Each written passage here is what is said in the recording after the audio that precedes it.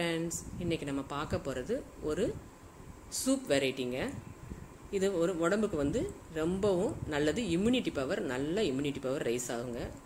முருங்கைக்கீரை சூப் அதுக்கு தேவையான பொருள் ஒரு கப் முருங்கைக்கீரை அரிசி கழுவின தண்ணி ஜீரகமும் மிளகும் பொடி பண்ணது ஒரு ஸ்பூனு ஜீரகம் தனியாக ஒரு ஸ்பூனு எண்ணெய் தேவையான அளவு பூண்டு ஒரு அஞ்சாறு பல் நச்சு வச்சுக்கோங்க. தேவையான உப்பு பச்சை மிளகாய் பத்து சின்ன வெங்காயம் பத்து தேங்காயும் சோம்பும் அரைச்ச விழுது.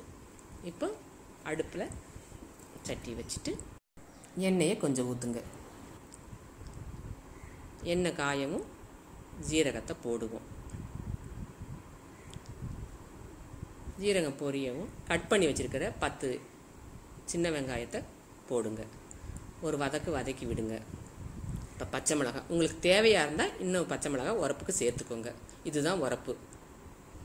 பூண்டு நச்சு வச்ச பூண்டை போட்டுக்கோங்க. ஒரு வதக்கு வதக்கி விடுங்க. ரொம்ப கோல்டன் ப்ரௌன்லாம் வர வேண்டாங்க. ஓரளவு வதங்கினா போதும். இப்போ அரிசி கலவுன தண்ணி ஒரு ரெண்டரை டம்ளர் பெரிய டம்ளர் ரெண்டரை டம்ளர். ஒரு நாலு பேர் குடிக்கலாங்க இந்த சூப்பு. அதனால் ரெண்டரை டம்ளர் அரிசி கழுவின தண்ணி.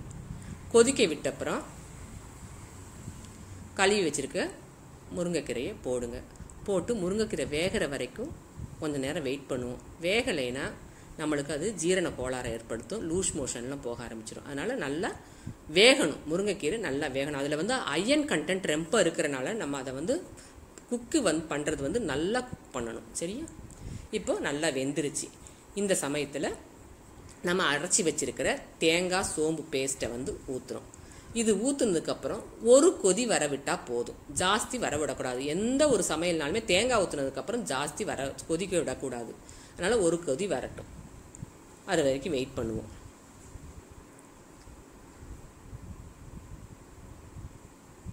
இப்போ நல்லா கொதிச்சிருச்சு. இந்த டைமில் நம்ம பொடி பண்ணி வச்சிருக்கிற மிளகு ஜீரகம் அந்த ஒரு ஸ்பூன் மிளகு ஜீரகத்தை போட்டுருங்க.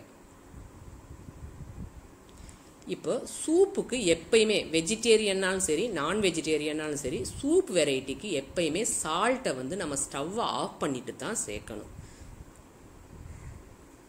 இப்போ பாருங்கள் நான் ஸ்டவ்வை ஆஃப் பண்ணிட்டேன். இப்போ உப்பை சேர்க்குறேன்.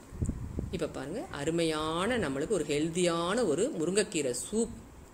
இது சளி பிரச்சனையை கம்ப்ளீட்டாக குறைச்சிரும். அதே டைமில் வயிற்று புண்ணையும் குறைக்கும்.